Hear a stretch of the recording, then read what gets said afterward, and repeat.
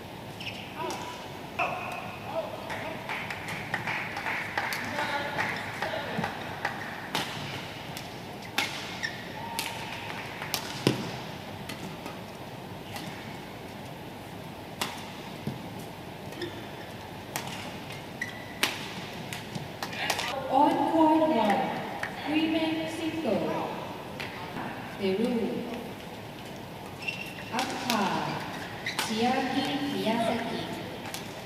There is turn. We are